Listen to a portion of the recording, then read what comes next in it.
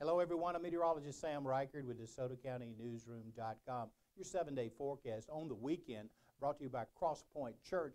You see their Sunday services times, and you can find them on Facebook Live about 9:30 a.m. So uh, look them up. Forecast today is going to be hot and humid. Winds are going to be from the southeast today, 5 to 10 miles per hour. So that's going to bring heat and humidity up from the Gulf of Mexico. So a little bit sticky outdoors today. So if you're out and about, you may need to find that shade tree. Drink plenty of liquids. It'd be hot. In fact, it will be hot. All the rain that had been falling along a stationary front in this area has gone away. The stationary front's basically just uh, faded away.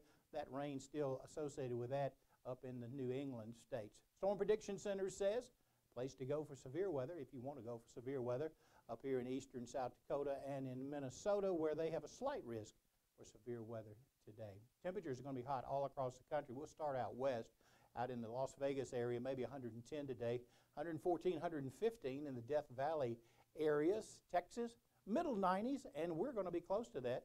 Low to middle 90s all across the Mid South today. Here's the specific forecast that we'll look at 94 for your high temperature today. Mostly sunny skies, low 73. Partly cloudy tomorrow, 93 for a high. Partly cloudy on Monday, a slight chance for an afternoon thunderstorm Monday, 92 for a high, high low 75. Tuesday, unsettled pattern starts. Rain chances in the afternoon 30%, increasing overnight. High temperature Tuesday 92, low 74. 88 for a high on Wednesday. Wednesday will be a cloudy day with a 60% chance of rain and thunderstorms.